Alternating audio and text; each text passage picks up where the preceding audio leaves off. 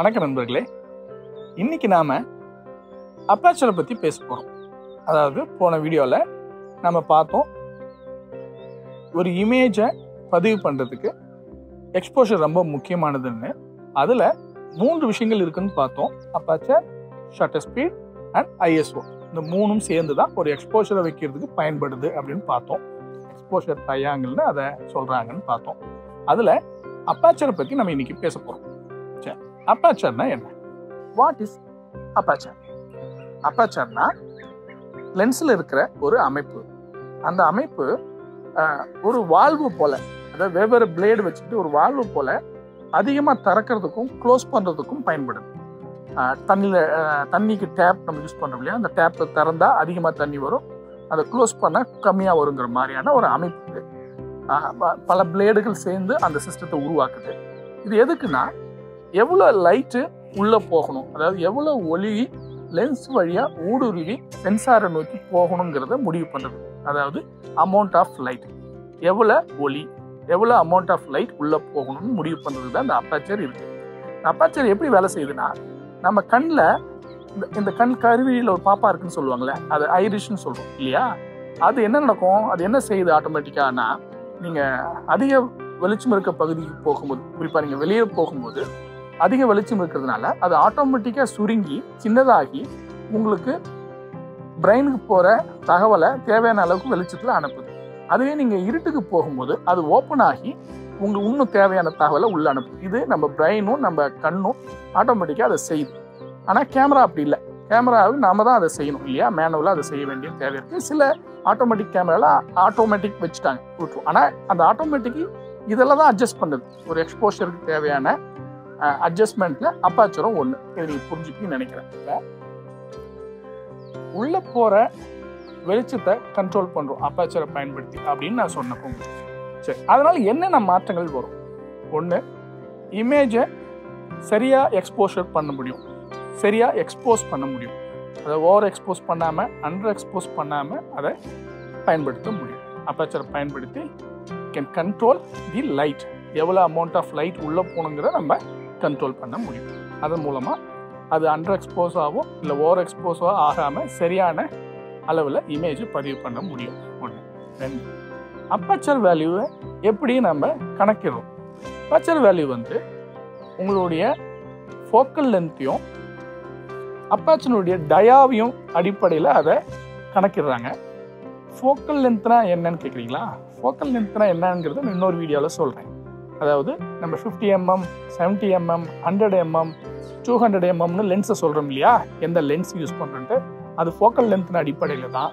So focal லென்த்தை பற்றி இன்னொரு வீடியோவில் பேசுவோம். இதில் அந்த ஃபோக்கல் லென்த்தையும் இந்த அப்பாச்சர் வேல்யூஸை அட்ஜஸ்ட் பண்ணுறது மூலமாக சின்ன சின்ன தொலையாகவும் பெரிய தொலையாகவும் அட்ஜஸ்ட் பண்ணுறது மூலமாக அந்த டயம் டயா மாறுது இல்லையா? அந்த வட்டம் மாறுது இல்லையா? அதன் அடிப்படையில் ரெண்டுத்தையும் டிவைட் பண்ணி தான் எஃப் வேல்யூஸை கொண்டு வராங்க. அந்த எஃப் வேல்யூ தான் அப்பாச்சர் வேல்யூ நம்ம சொல்கிறோம் இல்லையா? சரி. இந்த எஃப் வேல்யூவை அதாவது F two eight four five six eight eleven சிக்ஸ்டீன்னு இப்படி ஏறு வரிசையில் இருக்குது அப்படின்னா என்ன அர்த்தம் அப்படின்னா எஃப் ஃபோர் அப்படின்னா அதிக ஒளியை உள்ள விடும்னு அர்த்தம்.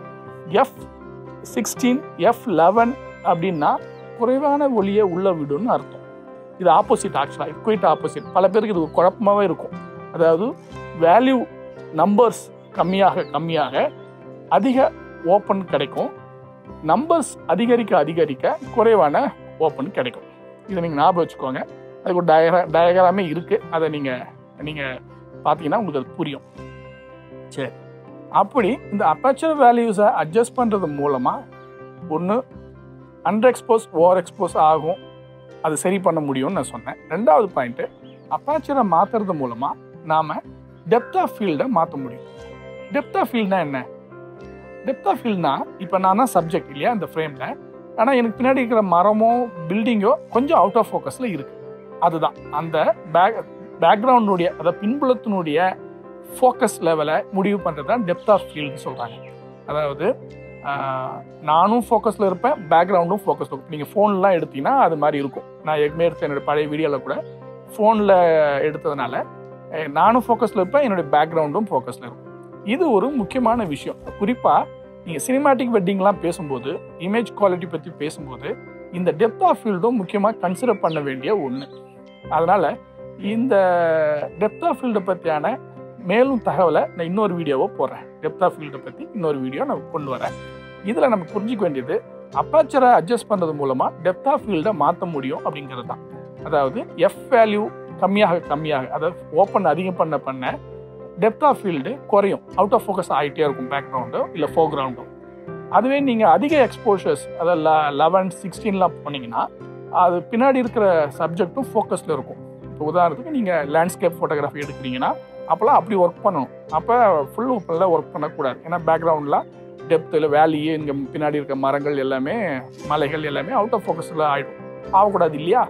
அதனால் இந்த எக்ஸ் அப்பாச்சரை வச்சுக்கிட்டு you can change the depth of field அடுத்தது இந்த அப்பாச்சர் வேலையை பொறுத்து பொக்கே எஃபெக்ட்னு சொல்லுவாங்க. அதாவது என்ன ஃபோக்கஸில் வைக்கிறீங்கன்னா பின்னாடி இருக்கிற லைட்டோ இல்லை வெளிச்ச பகுதிகளோ ஒரு மாதிரி ரவுண்ட் ரவுண்டாக தெரியும். நீங்கள் பார்த்துருப்பீங்க. ரவுண்ட் ரவுண்ட் அதுக்கு பேர் பொக்கேன்னு பேர்.